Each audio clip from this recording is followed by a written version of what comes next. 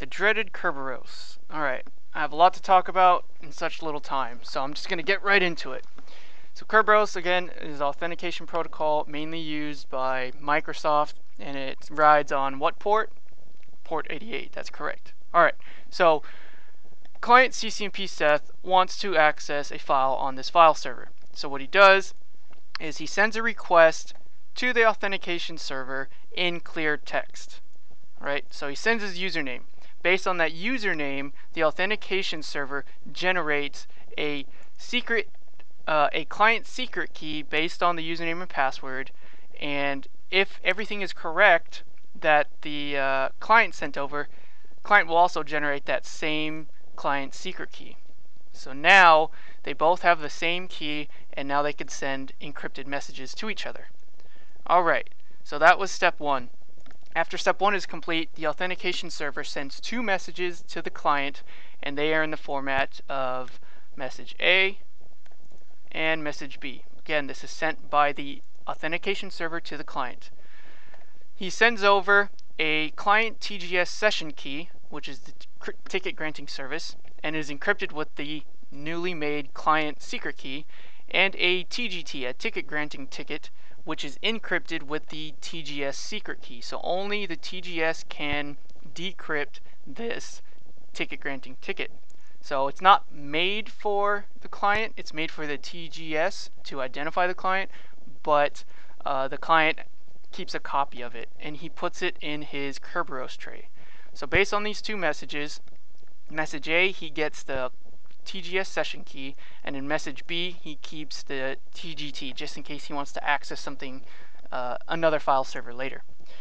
All right, so after that is completed, the client will send two messages to the authentication ser or to the TG TGS, I'm sorry, to the ticket granting service. And the first message, message C, contains message B. Message B is the TGT. Uh, also in message C, it is the file service ID. So that is file server 1, fs-1. So he's like, all right, I want to get to file service-1. Here is my ticket granting ticket. Also, I sent you my authenticator card, which I've created and identifies me. So when the TGS gets message C, which contains the uh, TGT, he unencrypts it based on that secret key that only the TGS has and looks at the client ID, the validity period, and matches it with the authenticator card of message D. So the timestamp has to be within the validity period of the TGT and do the client IDs match from the TGT and the authenticator card. If they do, then the ticket granting service has authenticated the client. So after all those messages are done and the client IDs match, the TGS will send two messages to the client. So let me put that there. And these are message E and message F. Let's see if I can put it there. All right, so the TGS sends this to the client after he has authenticated him, and message E is a client to file server ticket. And notice that it is encrypted with the file server secret key. How did the TGS get this uh, file server secret key? Well, again, remember, it is part of the KDC, which is the Key Distribution Center, or I like to say, the Kingdom of Keys because in a Windows domain, everything uh, authenticates to the domain, so he has the keys to everything in the entire domain. So the TGS sends this message E, which contains the client to file server ticket, and uh, in that ticket, it has the client to server session key plus the client ID, who is CCNP Seth. Uh, message F is the client server session key encrypted with the client TGS session. And back in message B, we see that the ticket granting ticket actually had the TGS session key there. So he actually has it so they could talk securely to each other. So let me put that back.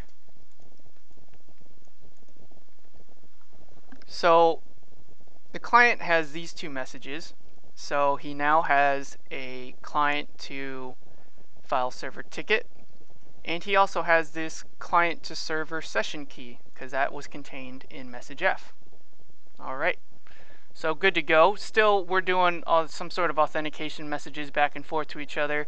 And then all of a sudden, he got this client to, uh, client to file server ticket, which is mainly used for the file server itself. So let's put that up there, bring down message F, and now the client will send another two messages to the file server. And what he sends is he sends that message E because it's made for the file server because only the file server can unencrypt it. So he gives that to the file server. File server can unencrypt it because only the file server has the file server secret key. And once he unencrypts it, he sees that the client server session key is there. So now he has access to that. So let's put that there.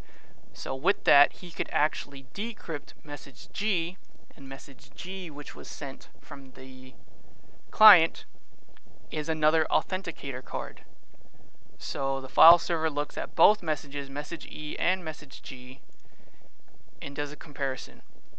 Does the client ID for message E match the authenticator card in message G? And again, with this ticket, there's also going to be a timestamp and a validity period. And if that timestamp is within the validity period, then uh, the file server will fully authenticate the client. So that is that. So after that, after the client sends E and G to the file server, the file server will send the last message to the client.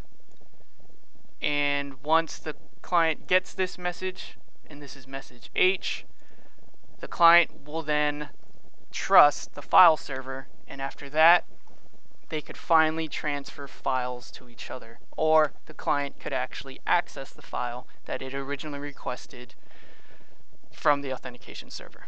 So message H shows the timestamp from message G. So actually, let me bring that back.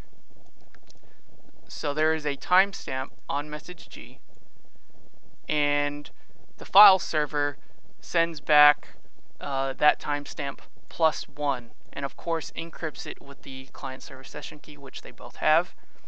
And when the client gets this message, it's expecting that original timestamp that he sent to him plus one. And once it does, then the client trusts the file server, and then they could finally access that uh, that file. So I know that there was a lot going on with all these messages. But if you step back and actually think about what's happening, client authenticates to the server, server gives him some information to authenticate to the TGS, TGS authenticates him, sends some messages back to the client that is used to authenticate to the server, server authenticates the client, and after the file server authenticates the client, the client has to authenticate the server based on this timestamp plus one. So that's why that last message I have right here is sent, uh, everything is sent in pairs except that last message. Whew. So this is Kerberos. Uh, I tried to stuff that in 10 minutes. Um, there's a lot going on, but the good thing about videos is that you could always rewind this so and, and break it down to fully uh, understand this. Um, so really enjoyed doing this video and uh, hope this was informative for you and I'd like to thank you for viewing. And if you were wondering what CCNP Seth was actually trying to, what kind of file he was trying to access on the file server, it was a kitty.